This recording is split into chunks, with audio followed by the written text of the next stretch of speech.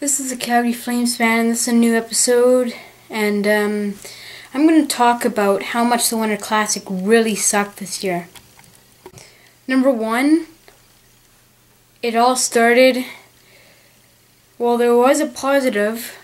The alumni game was good at the beginning, in between the old Washington and old Pittsburgh. It, that, that was a good game, but the next day was pretty not so good. So, um, they make this game on a Saturday, and usually the Winter Classic is like last year was like 11 a.m. or 9, but this year they make it 6 o'clock and it's all dark out. So, what's the point of that? Like, why would you have it late? Just, well, I guess a rain delay, but usually the Winter Classics have snow in them, but it had rain, and that was also a bad part of it, too. Another down is Washington won. I didn't really want them to win. I wanted Pittsburgh to win because I just kind of like them more than Washington. But um, also, Sidney Crosby in the second period got injured, so that was pretty bad too. And also that disallowed goal from Pittsburgh, that kind of, yeah, that wasn't that good. So which, um, let's talk about the jerseys now.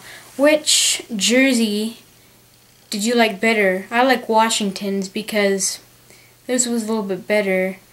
But, um, which was, um, your favorite out of them? So you can leave a comment on that. But another one that you could leave is, um, which Winter Classic jersey of Pittsburgh's did you like better? The first one against Buffalo or the last one against, um, Washington. But um, my one on the two Pittsburgh ones, it'd have to be the the first one, and that was actually a good game. The first one, it was snow. It was early. It was like old-fashioned hockey. It went to a shootout, and it was a good game. Okay, so we all know how um, that. Well, I think that wasn't the best Winter Classic. I don't think it was worse. I mean, I don't think it was like horrible. I just don't think it was that good. So, um, pretty much, um, now let's talk about, now that we know, now that I talked about the Winter Classic, how bad it was, I'm going to talk about the Heritage Classic now.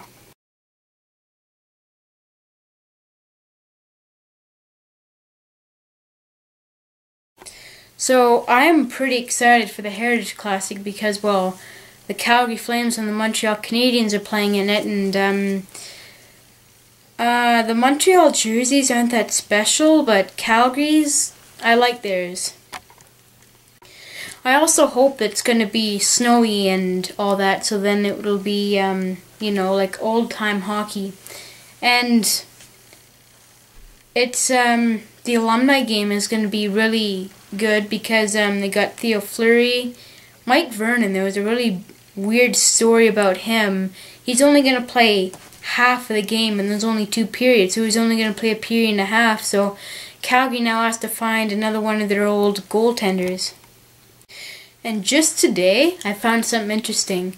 Conroy, Craig Conroy, was put on waivers, and it was either nobody claimed him now, so now his decision is to retire or go to Abbotsford. If I was him, I'd retire.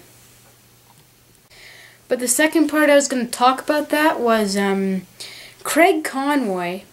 If uh, he retires, he has a chance to be in the alumni game. Like, wow.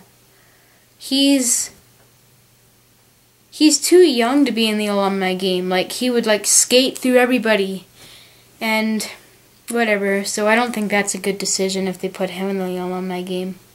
But anyway, um this is the Calgary Flames fan, and the first part I talked about the Winter Classic, talking about it wasn't that good, and I hope the Flames win against Montreal and um, in McMahon Stadium, home of the Calgary Stampeders. Go Stamps, by the way. And um, I hope that they don't have to come back from four to nothing that they did against, um, you know, Montreal. So um, this is a Calgary Flames fan saying bye.